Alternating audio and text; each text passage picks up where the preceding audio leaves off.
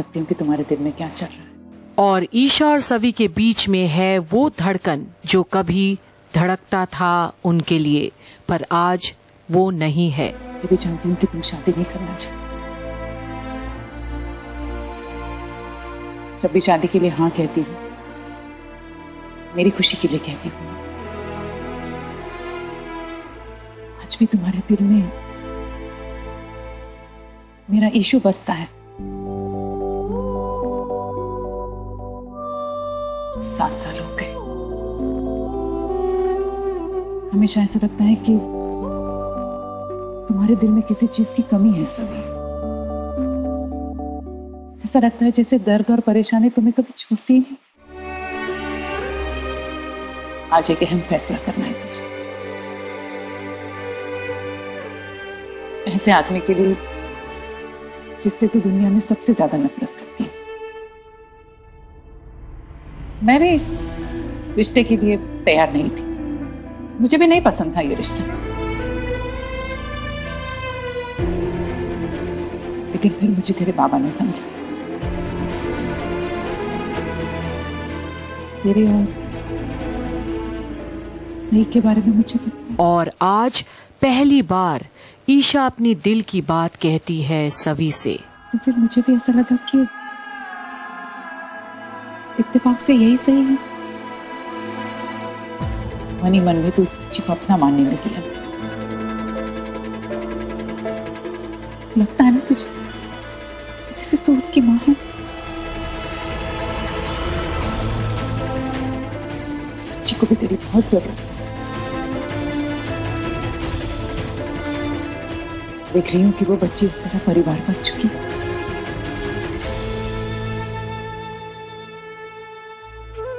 और जब हम किसी को अपना परिवार मानते हैं तो उसके इर्द गिर्द जो भी लोग होते हैं उसे भी हमें अपना परिवार मानना चाहिए। और अब सभी को समझ आ रहा है कि ईशा उसके साथ क्यों ऐसा व्यवहार करती है। सभी पर वो अपना पूरा अधिकार समझती है ईशान के जाने के बाद। जानती है? तू पहले कैसी थी? एकदम। शिस्तबद्ध।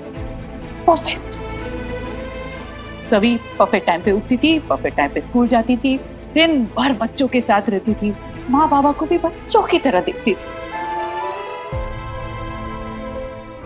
लेकिन कहीं ना थी तेरी अपनी मुस्कुराहट तो खो गई थी। पौधों से बात करती थी तू, वो भी तूने छोड़। दी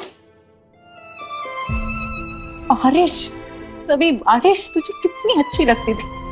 हाँ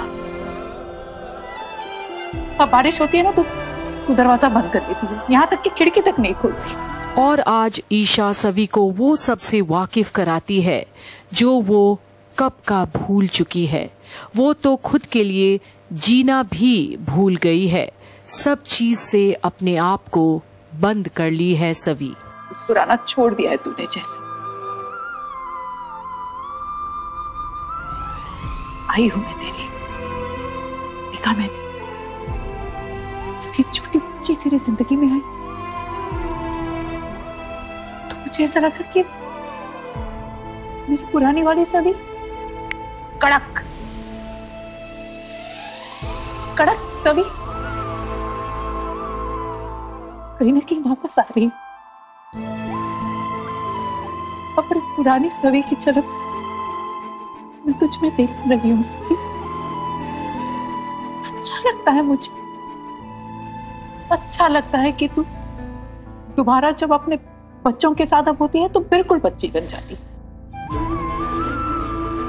तुझे नहीं पता बड़ा, छोटी बच्ची ने मुझे मेरी अपनी बच्ची की सबसे कीमती चीज़ थी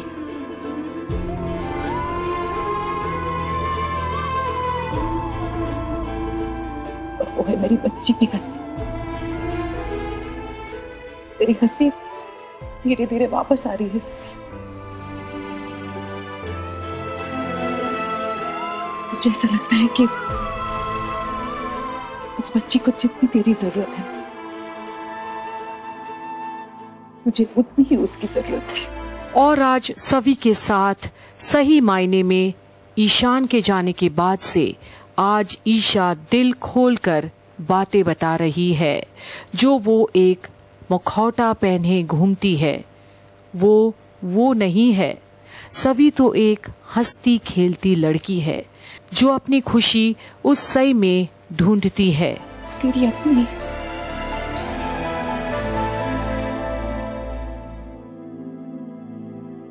कितने रिश्ते लाती थी ना मैं तेरे लिए। बस चाहती थी कि यीशु का सपना पूरा हो जाए।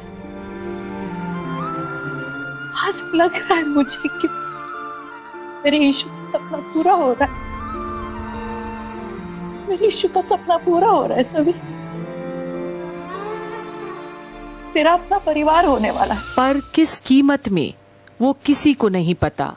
पर हाँ आज सभी शायद सही के खातिर एक रिश्ते में बंधने के लिए तैयार कर रही है अपने आप को। मैं बस इतना चाहती हूँ।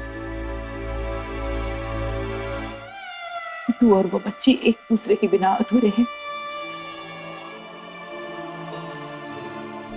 उस सही ने मुझे अपनी सभी वापस लौटा दी।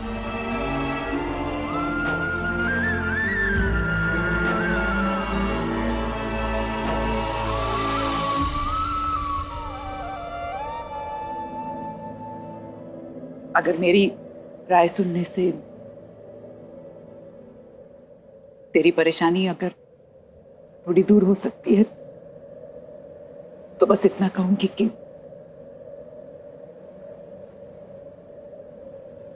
रजत से शादी कर और सभी अपनी आय को देखती है। उन्हें उसकी खुशी के लिए जो कुछ भी बन पड़ता है, वो कर बैठती है। बस ईशा को सभी की खुशी चाहिए। और जहाँ शब्द नहीं, आज सभी और ईशा के पास एक दूसरे को और समझाने के लिए अब ईशा अपने हाथ तक जोड़ती है सभी के आगे और मांगती है ममता की भीख।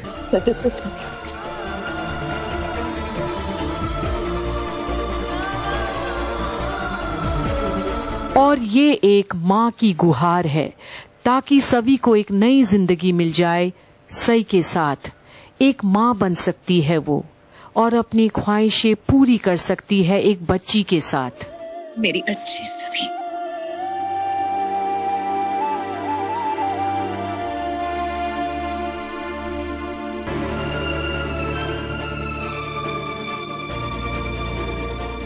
सुखी रहा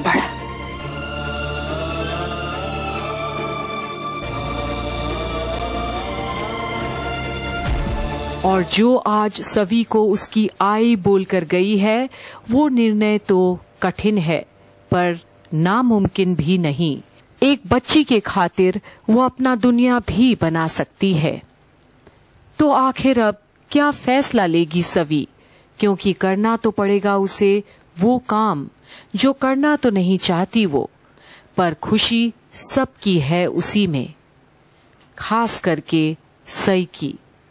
देखते रहिए घूमे किसी के प्यार में की आने वाली अपडेट्स यही कंप्लीट बॉलीवुड पर, जहाँ हम आपको बताएँगे कि आगे जाकर सभी क्या निर्णय लेती है सही के खातिर। क्या ये निर्णय उसके जीवन का सच्चाई होगा? और क्या इस निर्णय से दो परिवार के बीच अनबन खत्म हो जाएगी? देखते रहिए सारी अपडेट्स यही कंप्लीट बॉलीवुड पर।